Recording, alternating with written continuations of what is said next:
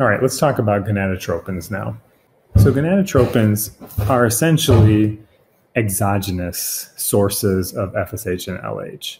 So, if we are having difficulty getting you to ovulate by boosting your endogenous FSH drive, then we will just give you straight exogenous FSH to overcome whatever barriers we're encountering.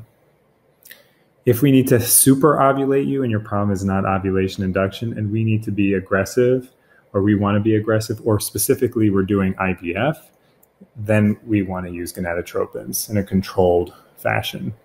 So examples of gonadotropins include high, human menopausal gonadotropin, which is highly purified human menopausal gonadotropins or HMG. The other source is recombinant FSH, um, basically working off the alpha and beta subunits of, a, of the FSH molecule and taking human cells and transfecting them with Chinese hamster ovary cells to then uh, essentially generate this uh, molecule synthetically. So those are the two common formulations that are available. As a side note, people can also use really low doses of HCG because really low doses of HCG will look like and act on the FSH receptors and the LH receptors. So some folks will use micro doses of HCG hormone. So the indication here for gonadotropins is usually people who are Clomid or letrozole resistant, people who have unexplained infertility that maybe IVF is not an option for, or who would like to try something a little more aggressive before they move on to IVF.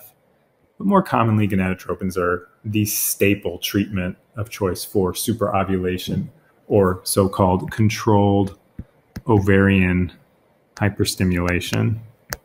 Controlled ovarian hyperstimulation or COH. And again, in this scenario, essentially what you're doing is you're giving these two drugs, one or both, and you're giving them exogenously. And essentially, they're acting directly on the ovary. The side effects with gonadotropins are actually pretty well tolerated. I mean, the biggest one is obviously it's a sub-Q injection. So these are sub-Q injections. Um, depending on, they are like one one recombinant formulation is in a pen with a uh, cartridge. Another one is a similar cartridge-based system, and then another drug is a powder that you mix with the solution. You draw it up in a little insulin needle and then you inject. So these are sub-Q injection bruising is the most common side effect. And that's injections usually that are done on the abdomen, lower abdomen. Obviously, the big risk here that we alluded to earlier was the risk of multiples. The twin rate with this drug in patients with unexplained infertility, for example, is as high as 25%. It could be even higher depending on the age of the patient and the indication. And then, of course, the baseline triplet rate is about 5%, and again, could be higher um, depending on the age of the patient and the indication. For example, I had a patient who was 34 years old who was using donor sperm because her husband had medical problems that rendered him sterile. She did, she had been trying with Clomid for four or five cycles, didn't work. We did injectable cycles. She made seven follicles. We went ahead she only made one baby out of those seven follicles. So just because you make seven follicles doesn't mean you're going to have seven babies. But you need to be very responsible and thoughtful, more specifically, about how you stimulate these patients and what, what the risk is going in and what the risk is at the time and what their tolerance is for proceeding and what your tolerance is. So there's an art to stimulating a patient with gonadotropins that is not doing IVF. And as IVF has gotten better over the last 15, 20 years, and more specifically over the last 10, the use of gonadotropins in the setting of timed intercourse or artificial insemination is slowly uh, eroding as more and more people just move straight to IVF and don't even use these drugs in these settings. So as IVF has gotten better, more and more people are moving straight to IVF and maybe using these oral medications first. And if they don't work, then they move to IVF. So, some example protocols, um, just to kind of talk about how these drugs work and how we basically give them. So let's take Clomid and or letrozole plus or minus metformin. So for example, let's just take a patient who's on clomiphene and she has PCOS and she's 26 years old and has never been pregnant, has irregular periods, and is ready to just try something. So she's young, so we'll just try Clomid alone. Um, just for the sake of this exercise, I recognize we had talked about letrozole being superior in, the, in this patient. We would select letrozole, but again, just for the sake of this exercise, Clomid's listed first, so that's what we're going to go with because letrozole would be identical. Um, you're going to basically have the patient call with cycle day one and then she gets the prescription. She starts her Clomid on cycle day three. She takes, I usually start with 100 milligrams or five milligrams of Clom of let, five milligrams of letrozole or 100 milligrams of Clomid. She takes it every day, cycle days three through seven. So then, starting on cycle day 10, she starts using an ovulation prediction kit.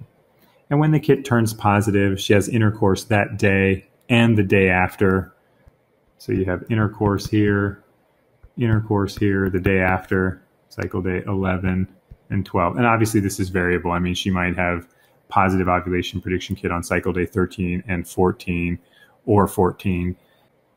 Two weeks after the ovulation prediction kit is positive, she will check a pregnancy test and it's either going to be positive or she's going to start a period, in which case we would start the Clomid again at the same dose or a higher dose, depending on her response. The other thing I like to do in these patients is one week after an ovulation prediction kit, I like to check a progesterone level. The reason I check a progesterone level is she doesn't ovulate. She has PCOS. She has an ovulation dysfunction.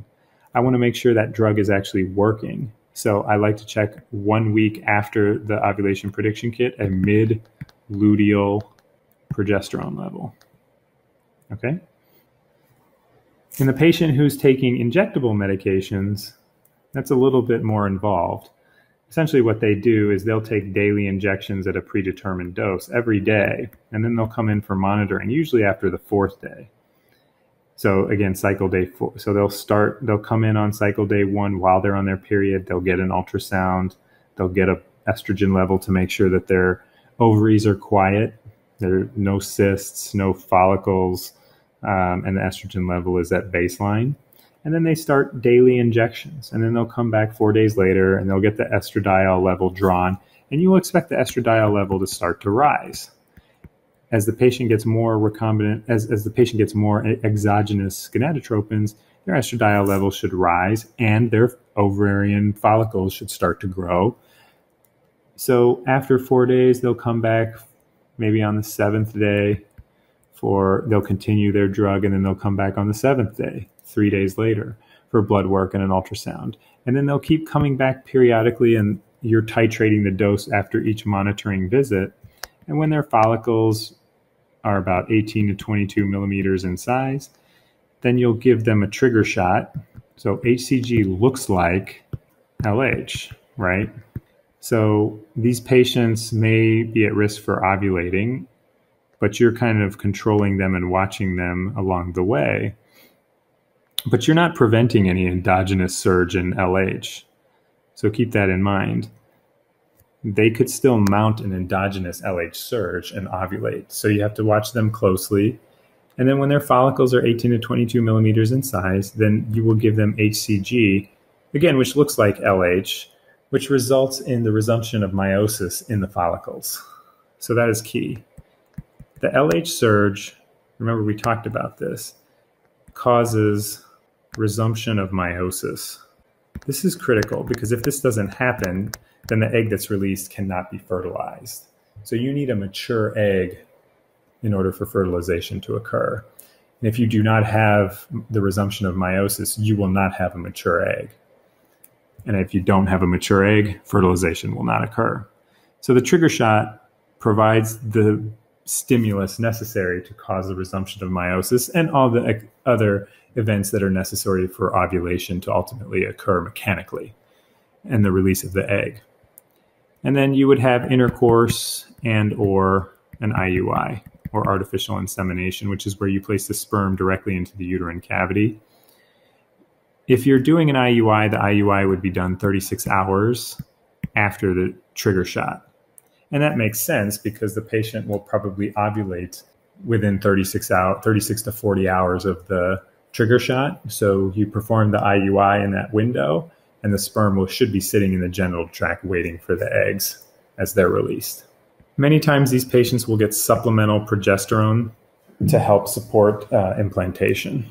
And then again, two weeks after the HCG shot, two weeks, you check a urine pregnancy test at home. The patient's either pregnant or she starts a period, and then we start over again or move on to IVF at that point, depending on what's the patient's situation.